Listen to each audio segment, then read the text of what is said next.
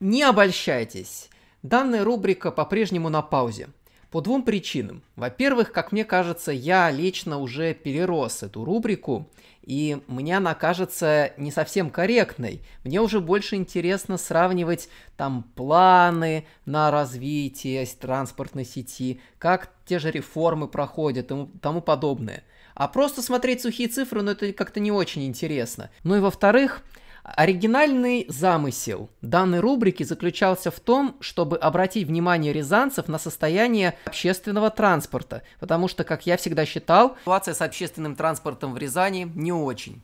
И в сравнении с другими российскими городами я бы сказал, что она даже ниже среднего. Сейчас внимание на это вроде как обратили. На мой взгляд, опять же, недостаточно. Нужно как-то более комплексно подходить к этому вопросу. Но для этого уже нужно не просто сравнивать транспортные системы, а нужно сравнивать те системы, где все-таки идут какие-то улучшения.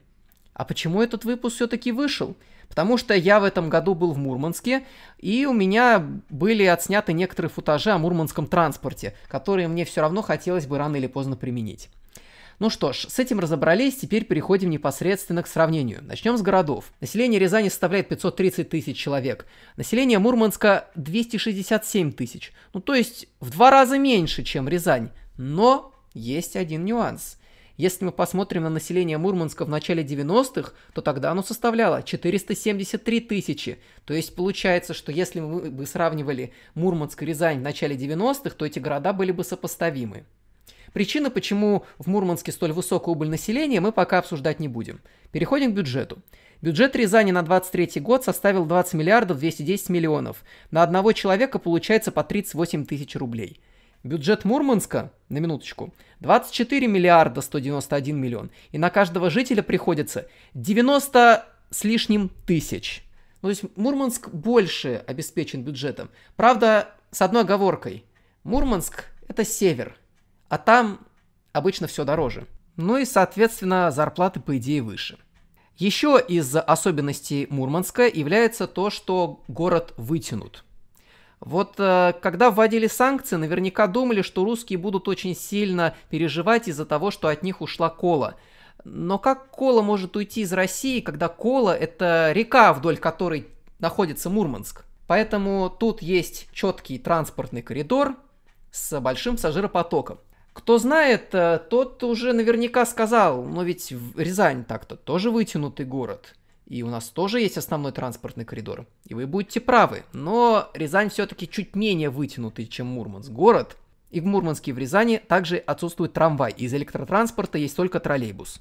Но начнем мы все-таки с коммерческого транспорта. В плане коммерческого транспорта, сразу скажу, Мурманск от Рязани отстает. Правда, и его значение куда меньше, чем в Рязани. Ну, то есть, если у нас есть немало направлений, которые обслуживаются исключительно коммерцией, то в Мурманске таковые еще надо поискать. Всего в городе 10 маршрутов коммерческого транспорта по данным сайта Wikiroutes. И все они обслуживаются малым классом.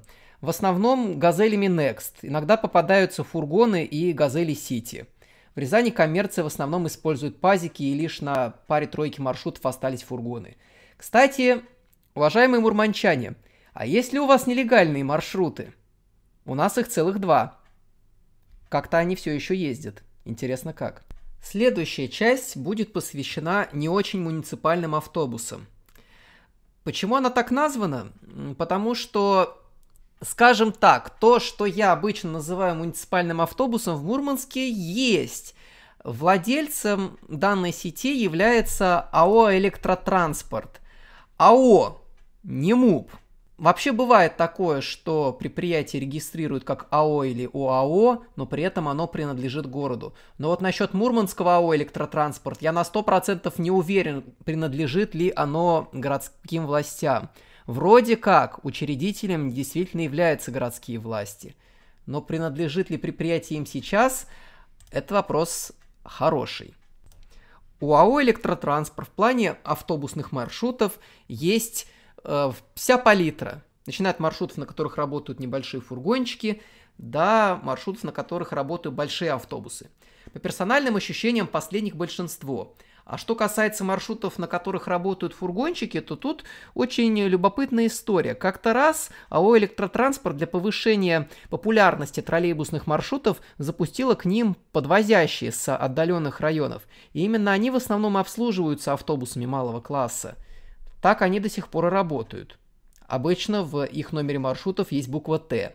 Рязанская МУП-РТ до таких приколов пока еще не догадалась. Хотя с учетом дублирующих маршрутов коммерческого транспорта вряд ли это будет популярным. В остальном плане у АО «Электротранспорт» превалируют автобусы большого класса МАЗ-103.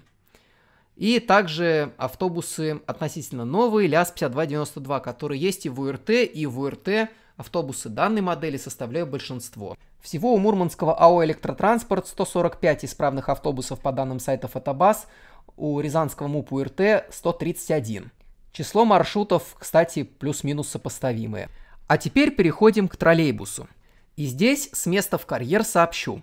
Мурманский троллейбус образцовый по меркам России.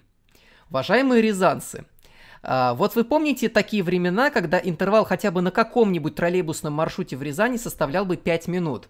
За последние 40 лет такое было крайне редко. А в Мурманске Интервалы между троллейбусами на одном маршруте в 5 минут и даже меньше до сих пор обыденное дело, и они даже вполне себе обычно соблюдаются. Троллейбус в Мурманске охватывает тот самый основной транспортный коридор города. Все маршруты по нему проходят, они ходят часто и пользуются большой популярностью. В Рязани же в этом плане не очень повезло. Да, маршруты охватывают большие пассажиропотоки, но целиком вот этот вот коридор не охватывает ничего, особенно если мы будем смотреть направление из центра в песочню. Статистика. В Рязани на данный момент существует 108 исправных троллейбусов, в Мурманске 120. При этом в Мурманске всего 4 маршрута, а в Рязани их 9. Соответственно, все 4 маршрута, которые есть в Мурманске, да, всего маршрутов мало, но каждый из них ходит довольно часто. Я даже на своем личном опыте убедился, мы троллейбуса дольше 5 минут не ждали. По подвижному составу самый старый троллейбус в Мурманске 2003 года, в Рязани 2000 -го. Самый новый троллейбус и там, и там 2023 года. Но в Рязани их будет 5, будет 5, а в Мурманск на данный момент уже пришла 31 машина – и это еще один повод похвалить э, троллейбусную систему в Мурманске, потому что они почти ежегодно закупают новые машины. Пускай и не всегда в большом количестве, но в 2023 году закупили много. Возможно, дело как раз-таки в бюджете, о чем говорил изначально. Все-таки денег у Мурманска немало. А возможно, дело и в компетентных э, специалистах. Наконец, спецчасти. И тут тоже Мурманск выделился – Почти повсеместно установлены скоростные пересечения и исходные стрелки, что теоретически позволяет троллейбусу проезжать их со скоростью в 40 км в час. Теоретически, потому что когда я на практике наблюдал за работой троллейбуса в Мурманске, я не увидел таких скоростей. Да, спецчасти троллейбусы в Мурманске проходят быстрее, чем в Рязани. Но, как мне кажется, с такой скоростью, с которой более-менее можно проходить новые устаревшие спецчасти – и имхо скоростные бы могли позволить и большие скорости. И стрелки-автоматы там старые. Но это не столь критично. Опять же, как по мне. В Рязани скоростных спецчастей нет, и новые не ставят. И даже при ремонте контактной сети берут самое дешевое дешманское, которое не факт, что вообще нормально прослужит.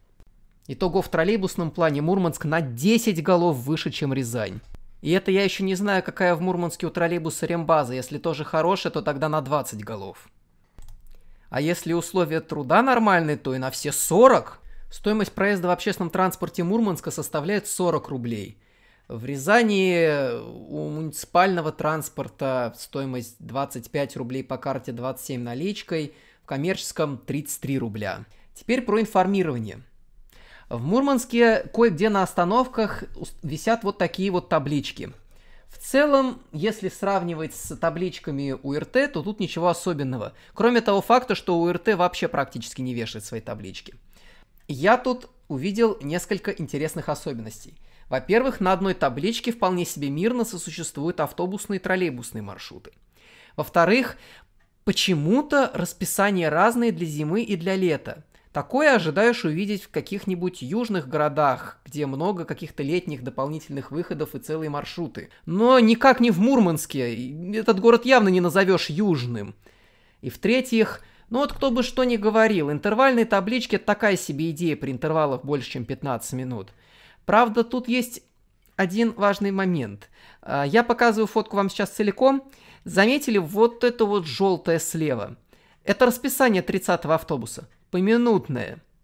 То есть, все-таки в Мурманске иногда, если интервалы большие, рядом вешают расписание. Уж не знаю, выполняется ли оно или нет, но оно как минимум висит и выглядит более-менее новым. Наконец, рубрика «Маленький прикол». По данным сайта АО «Электротранспорт» в 2011 году данное предприятие получило награду «Золотая колесница». В 2014 году эту награду получила УРТ.